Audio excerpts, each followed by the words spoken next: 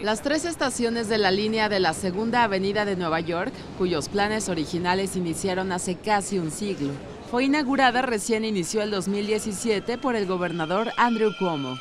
La construcción de las tres estaciones y de una cuarta terminal en la Tercera Avenida tomó más de 40 años y durante varias décadas esta iniciativa se convirtió en un chiste local sobre los planes que Nueva York parecía incapaz de terminar. Las nuevas estaciones en la calle 96, 86 y 72 en el vecindario del Upper East Side, más una terminal adicional en la calle 63 que conecta con la línea F y que une a este nuevo proyecto con la línea Q, forman parte de una ruta que va de los condados de Queens a Brooklyn.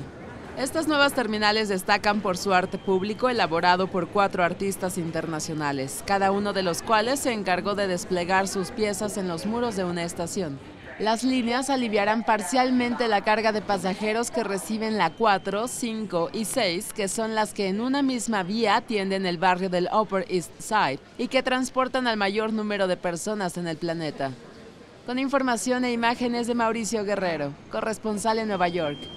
Notimex.